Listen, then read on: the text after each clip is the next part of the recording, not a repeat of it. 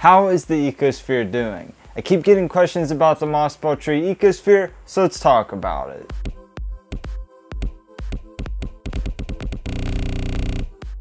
As I said, I've been getting questions about this ecosphere non-stop. How do you take care of it? How's it doing today? Are you going to do an update on it? Is it still alive?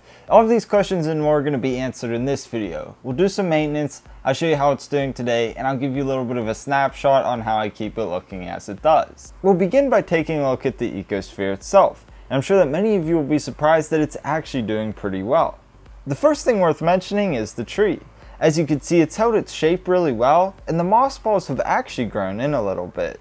I know that many of you are concerned as to whether or not the moss balls would survive after I attach them to the tree structure, but they actually look like they're doing better than they were in the aquarium previously. They're a little bit greener, there's some new growth, and overall they look quite healthy. What about the snails? I know that a lot of you are concerned about them, what are they going to eat, how are they going to survive in a container like this, and various questions like that. To answer the question, how are they doing? I'd say they're doing pretty well. Most of the original ones are still in here and thriving, and they've actually multiplied to the point that there's quite a few snails in here, but that's not a surprise to me. What are they feeding on though that's allowing them to thrive and reproduce? They're definitely grazing on the moss ball here and there, but I suspect that they're primarily feeding on the biofilm that grows on the sides of the container and on the stones and twigs.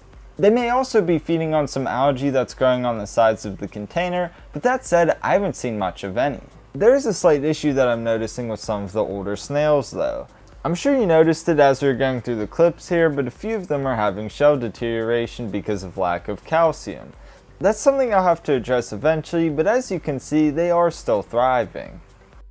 You've seen how it's doing, we've talked about the snails, but how do I maintain this? For this one I keep it simple, I have a toothbrush, an airline tube, and a discharge bucket.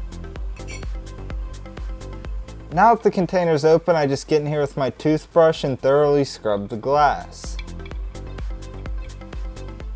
I'm sure some of you are wondering why are you scrubbing the glass if the snails eat the biofilm that forms on it, and simply put I just want to keep it clean of algae if there is anything there.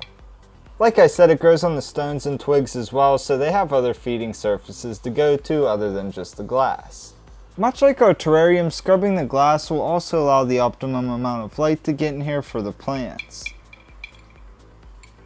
We've got it all good and scrubbed now thanks to our toothbrush, but as you can see the water is a little cloudy. The reason why I scrubbed this before doing the water change is so that way whenever we do the water change, we remove all of the impurities that are in the water column and we start fresh with some clean water. Now then we're ready to drain this water. What I do is I stick the airline tube into the ecosphere, blow on it for a second, and then suck really hard and it gets a strong suction every time.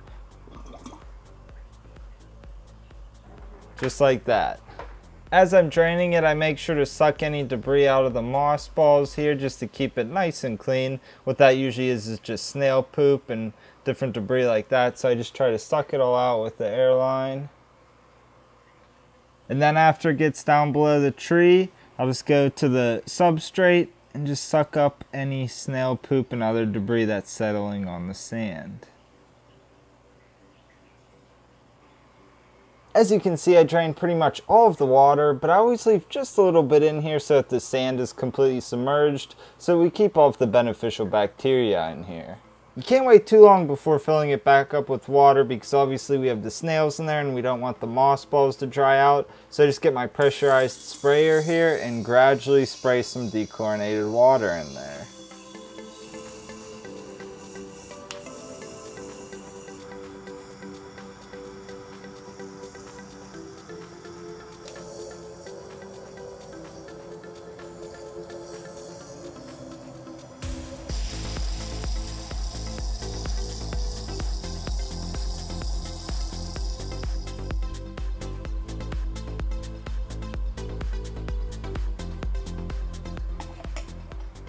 Of course we clean the inside of the container, but I always advocate cleaning the outside with something like this microfiber cloth, so that way we can remove dust and keep it looking pristine.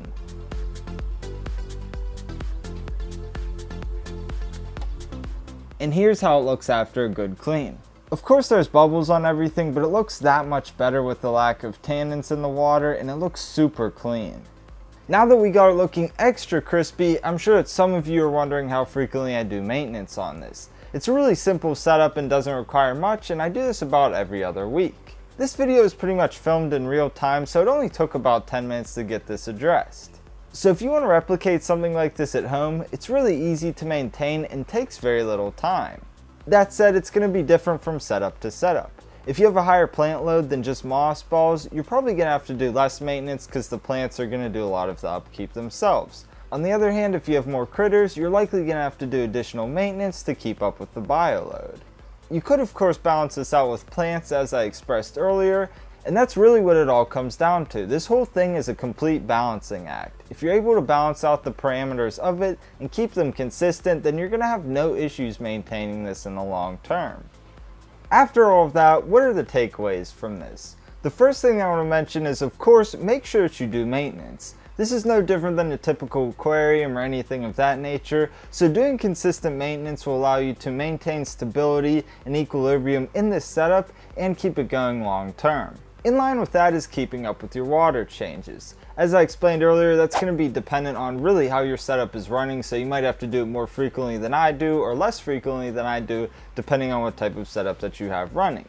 I know that many of you are going to argue with me and say that it's not an ecosphere because I'm doing water changes and it's kind of like my terrariums where people don't think I should be doing maintenance because it's not a true terrarium but really I want to guarantee success with my setups and if that means maintaining them I don't really care about semantics I'm going to take care of them and keep them going. Something else worth mentioning that I don't talk about too often is lighting. Simply put this in front of a partially lit window and you're good to go. If you do direct sunlight, you're probably going to get some sort of algae or it might get too hot in there or something along those lines, but if you do a partially lit window, you're good to go.